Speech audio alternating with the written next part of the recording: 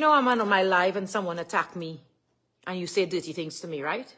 And I would answer back. They're cutting those parts where I uh, answer back and they're going to post it on YouTube and they're captioning it that I'm cussing a man, I'm cussing a woman, I'm discriminating this one, I'm a racist. I'm, I'm, I've heard it all from since 2018. Hey, you, leave that alone. I've heard it all from since 2018. If you come on my live and you give hate and you portray hate and you say nasty things, I am not a saint. I am not a perfect person. I am going to give you back just what you give me under my life. Don't play saint. If you, okay, let's get this clear. I am from Trinidad and Tobago. Why are you naughty? Hold on, guys. Why are you naughty? Come here. Leave it alone. Leave it alone. You're only looking to play, only looking to play, only looking to play. Drop it. Drop it alone. Drop it. He just looking to play. Right? I am from Trinidad and Tobago, ladies and gentlemen. And everybody in Trinidad and Tobago on a live cussing one another, all kind of thing. I don't come on my internet to do that on my platform. But when you come and you're interfering with me in the worst possible way, and you look, you wait, you sit, you provoke me, and you sit and you wait for the reaction. Then you go cut it out and you share it all over and mislead the public by trying to create hate and racism. Do you know that's a hate crime in America, right? When you mislead the public with a caption to cause hate upon someone. Especially when you're calling me a racist. So we all came from Trinidad and Tobago, right? We, I mean, most of my people are from the Caribbean here. In America, even though you are not, your, your texture of your hair is not what they wanted to be, you are considered a person of color once you are not white. For the love of God, first they tell me, I am calling them and telling them they have the old end behavior. For the love of God, you're telling me, oh, you feel you white. That's my ring light. Okay, fine. I'm looking a little white. I know I don't bleach. Oh yeah, they tell me I just bleach. For the love of God, you're telling me, oh, you feel you're white, or you want to be white, you realize you black too. Then, when I say a black, why my own black people pulling me down? Oh, oh, one minute you're black, one minute you're a Indian, one minute you're a coolie. And I'm confused.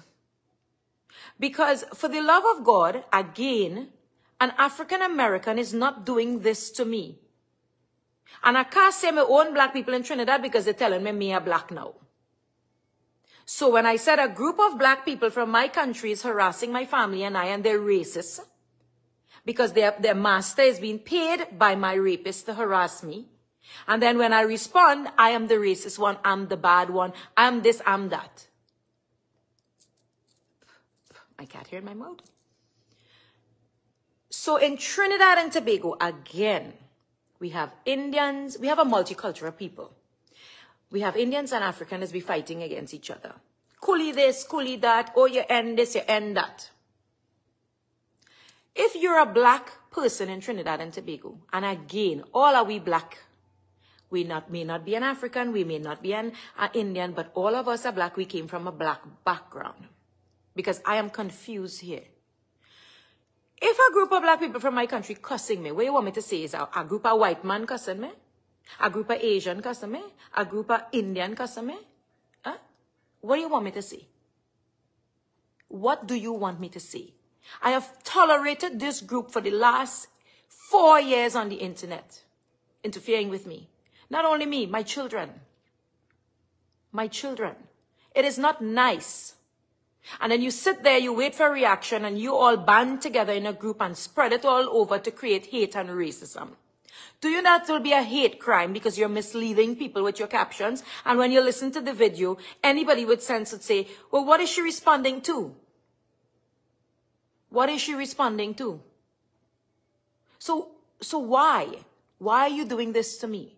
You come, you sit on my live, you record my live, and when you send your people to harass me, and I cuss and give you back what you put out to me, then I am the bully, I am the racist one, and I'm the discriminating one? Why?